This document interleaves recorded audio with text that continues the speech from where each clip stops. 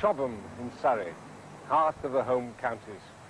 Down the road to Great Windsor Park, over the hill to Roy... We have these sort of experiences around Baba, and they'd had people who've been speaking in other languages, and anyway, it was, it was old hat to them. All Baba's devotees are eager to tell their own story of his impact on them. Kathy McCormack was an academic. Now she lectures on Baba's yoga. Something hit me. It was as though a sonic boom had occurred just above my head. And I don't know exactly how to describe it except that a level of my being was open that I never knew existed. It was absolutely incredible. Tremendous love, tremendous ecstasy.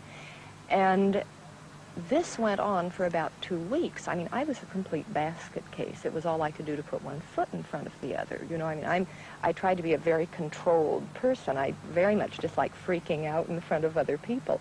So I, it was about two weeks before I could chant without weeping. You know, I mean, it was, it was a terribly, terribly profound experience, and I found that it never leaves.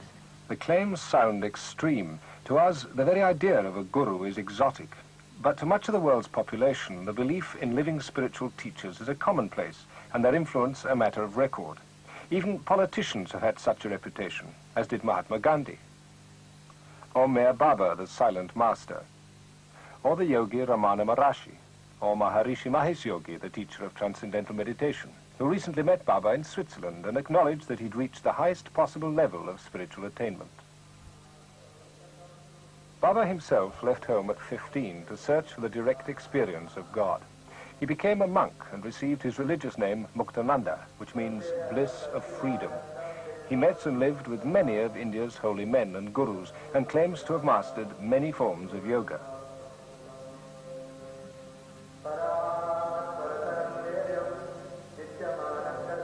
But in spite of all this, he said that his search only bore fruit when, after 25 years of wandering, he met his own guru, Bhagavan Nityananda, who transmitted the force that awakened him.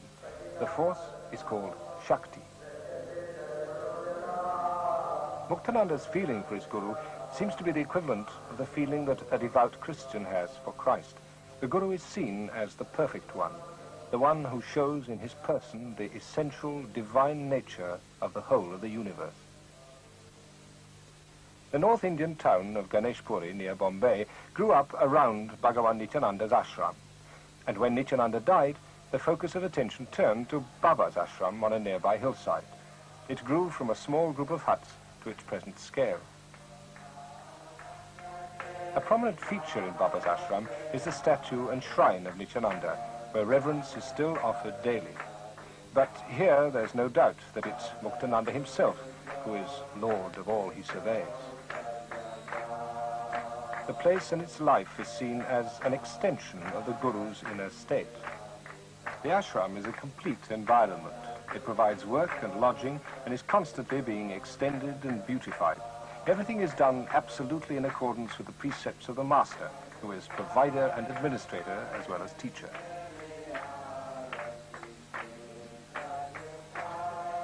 Through surrender to this discipline, the devotees believe that their own inner state comes closer to that of their guru.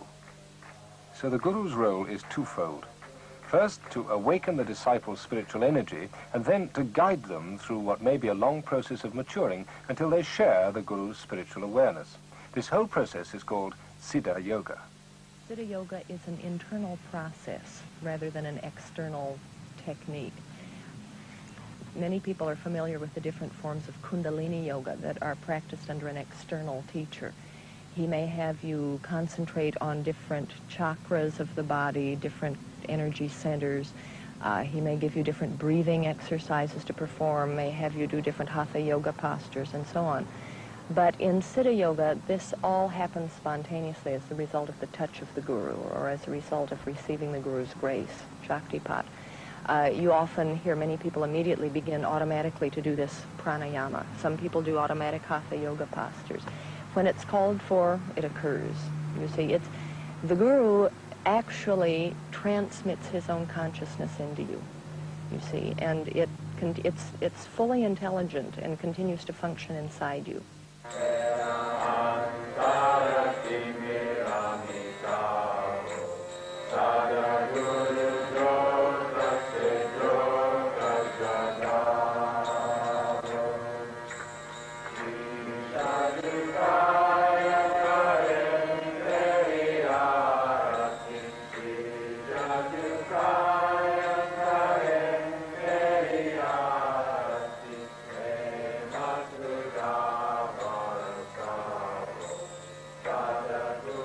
Come to the focus of the Swami's visit. Two days of intensive spiritual exercises. Everyone has been urged to keep their attention directed within, to meditate on their own inner being, and not to be distracted by what may happen around them, because now is the time at which the most concentrated effect of the Guru's presence may be felt, the awakening of Kundalini by the Guru's touch.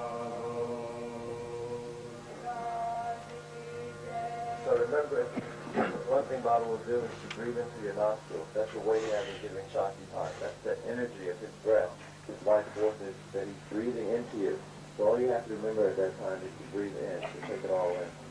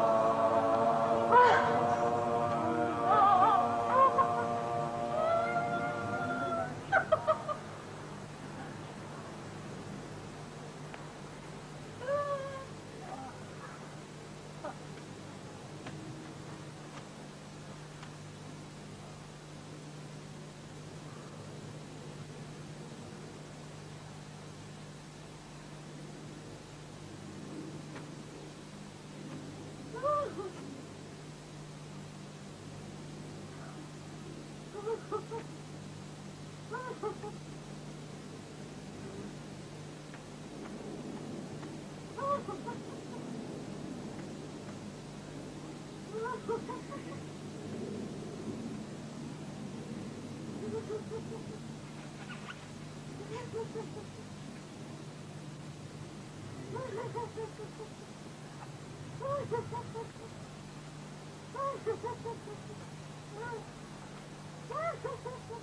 God.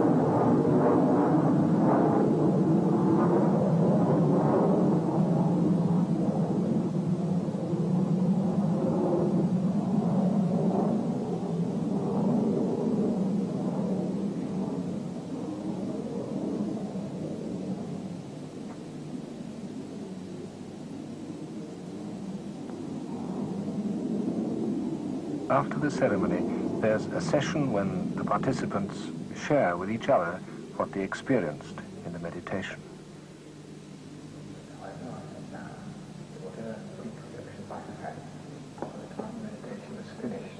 I was so heavily into the meditation that I had spontaneous silence. When I came out, I didn't feel like talking to anyone at all, but just resting very peacefully, very quietly in my inner self. And that was a very important experience for me, because I tend to talk a lot to people and to relate to people very much straight like this, looking at them and talking to them. And it was a very beautiful thing for me to be able to just sit in my inner self and watch the kind of relationships which developed with other people all around me while I was sitting in this very peaceful inner place. After a few minutes, this image seemed to come in like a kind of airplane at me, you know, from very, very way down. It kind of went boom, like that, flat on my head. and it was um, an image of a, it seemed from a very, very, very long time ago, you know. And it was an image of a, of a, of a girl, a little girl. Uh, or it could have been a boy. I thought it might have been my half-brother who died, but I don't think it was anybody really. It was just a little girl sitting on a wall, like as if it had been an old photograph taken. And she was leaning towards the camera like that, looking really very happy, you know, very, very happy. And I looked at it, and I couldn't stand it because it was so happy. You know? and um, it was as if uh, all the all the resentment that I felt that other, other people's having through my life um, because of the memory of this very primally happy person, you know. I'm not describing very well. Anyway, after that, I went into that room and I completely broke down. and um, uh, when I recovered, after that, it was um, I had a very kind of hallucinogenic experience for 12 hours, um, right through until the next morning, where uh, the whole world went extremely, um, extremely pretty, not beautiful, pretty, and everything was very precise and pretty, and, and the colours were all pink and yellow and uh, very three-dimensional. And uh, that lasted really until um, The atmosphere is so highly charged that the outsider can't help wondering if this isn't just the triggering off of pent-up emotions, which sometimes trip over into hysteria, and if enlightenment isn't just a form of neurosis. And if it is something else, how is it different from these psychological disorders? We put this question to an educational psychologist from the University of Michigan, who's been associated with Muktananda and watched this effect many times. What is it that makes it different and makes it other, what makes it not, not a hysteria, not a... You begin to see that people's lives change in a positive way. And, you be, and that's, that's a little vague, but what I mean by that, and it's vague because I'm talking about a whole group of people at once, but what I mean by that is that in the hysteria, just goes on and on and on and on, and the person literally starts, uh, their lives start to disintegrate, start to crumble. Whereas with this, it doesn't go on and on and on. There's more crumbling and more crumble. What happens is it happens, it's over with, the person understands something to that, and they rise to a new, a higher level. Um, they, become, they get clearer on life. Uh, they feel more connected to their world, not more alienated. You know, when you're talking about psychology and different manifestations, disorders, essentially you're talking about being alienated from the world. And what I see all the time are people getting more and more in touch with their world, being able to move in situations that they never were able to move in before, being able to relate to people that they could never relate to before, uh, being able to just be and live life the way that they could never do it before. So all of those things are things that, from a psychologist's point of view, makes you have to say, this is different. I, I spend a lot of time with Hindus and Muslims and Sikhs, but this was slightly different. Um, I've not seen people, a bit like the old Quakers, I think, quaking. And I, I was sort of thinking back in terms of history, what their experiences were. But would you say that there was an enthusiasm which is perhaps lacking in the established church this morning? I think this sort of freshness and liberation is, is growing everywhere.